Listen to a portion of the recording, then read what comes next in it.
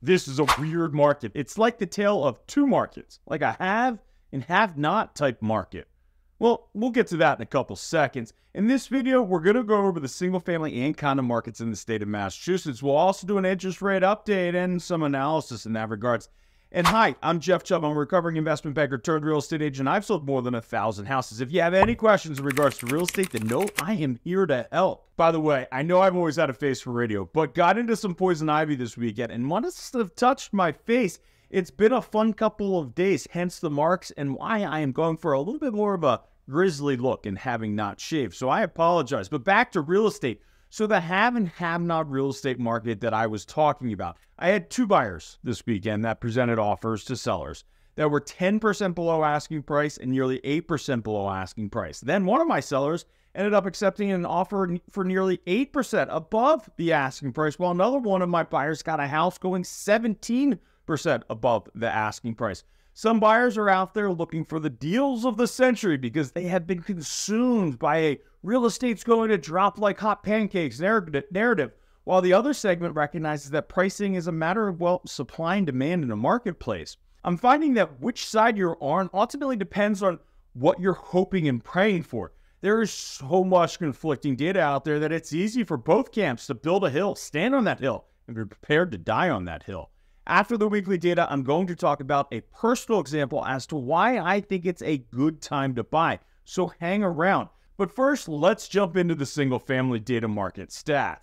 We currently have 4,300 houses on the market. It's another inventory high for 2023, but we actually fell behind the pace of new listings last year. We now have 6.9% more homes on the market than compared to just 28 days ago.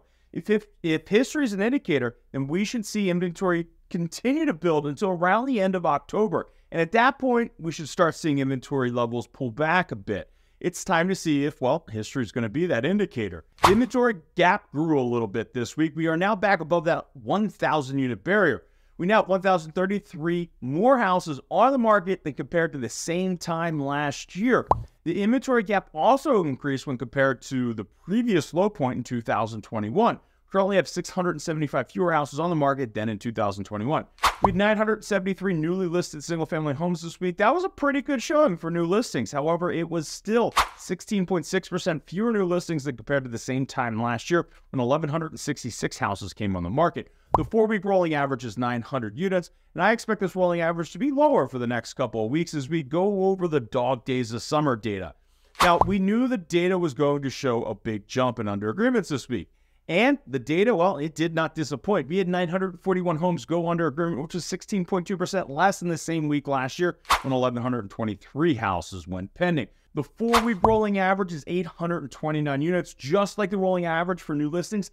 I expect that for the next couple weeks, our under agreements will exceed the rolling average as the summer slowdown months continue to be an anchor to our data points. So when compared to last year's market, new listings were off by 16.6%, while under agreements were off by 16.2%. I'd say that we had some relative balance this week in the sense that it is similar market conditions, but we're just doing, well, 16% less business across the board. There were 671 single family homes that closed last week for an average sales price of $732,000 and a median sales price of $605,000 and months of inventory. This is how we determine what type of market that we're in. Zero to five months is considered a seller's market, but the closer you get to zero, the stronger the seller's market that it is. Now, this week, months of inventory actually inched up to 1.39 months. This is compared to last week's 1.38 months. It's still a great market for a seller, provided your house is priced right.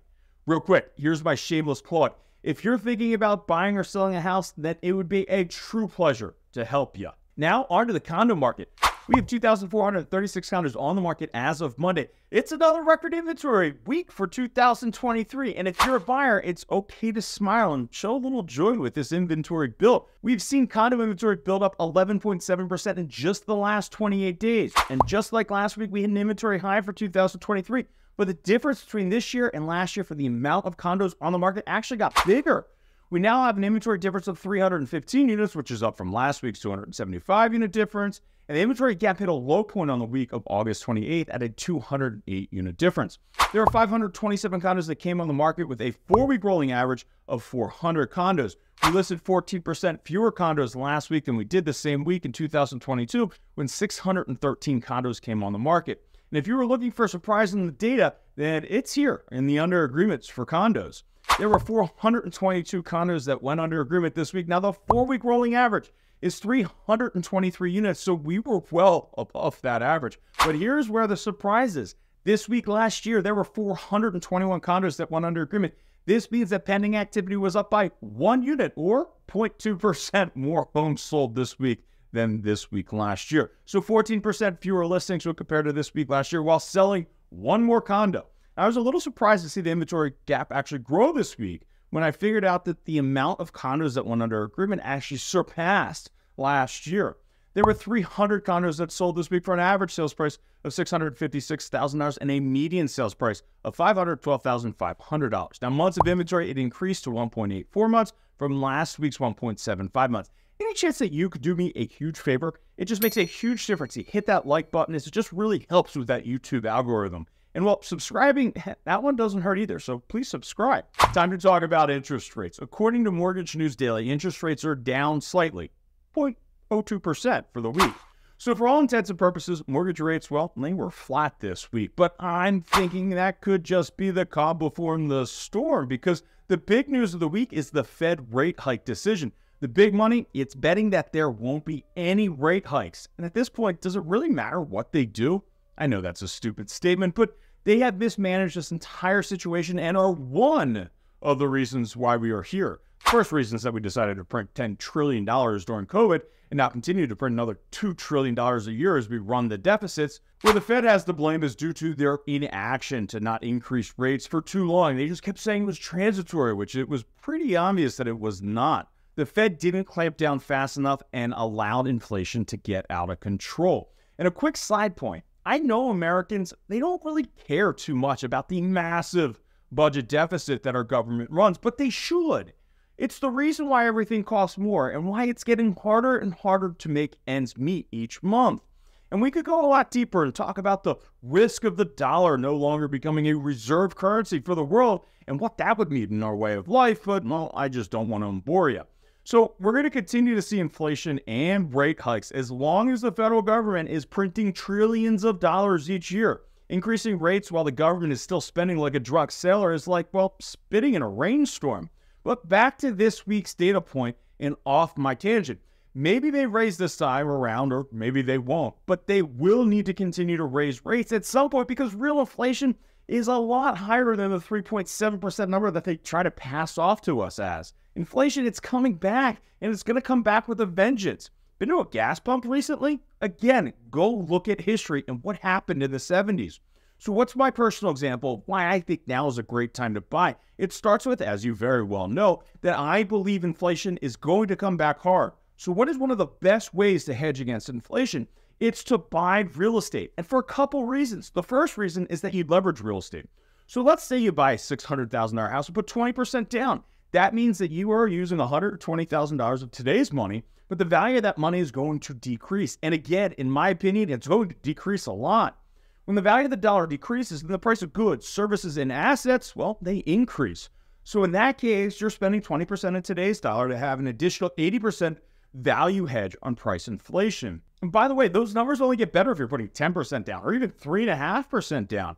And then there's my personal favorite inflation hedge that revolves around the mortgage payment. Here is where I will use myself as an example. I bought my house back in 2015. Since that time, the value of the dollar has inflated by 30% but my cost basis is in 2015 dollars. My $3,500 mortgage that was locked in back in 2015 is now the equivalent of $4,533 in spending power. So while my income inflates due to the decrease in the dollar, my expenses, well, they're locked in. In a weird and crazy sense, people that are locked into their mortgage actually benefit from inflation.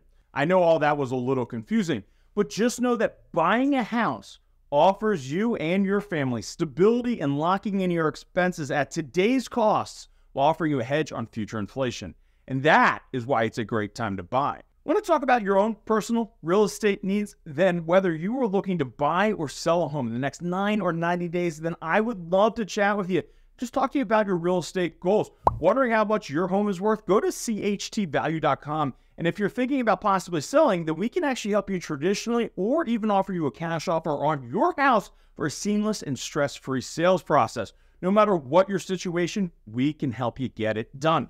You can also visit us at youtuberealestateagent.com and fill in your information. Then I'm going to reach out to you. Questions or comments about any of this market data, then drop me a line in the comment section below. You take the time to watch the video, so well, I'm going to take the time to respond to you. Until next time.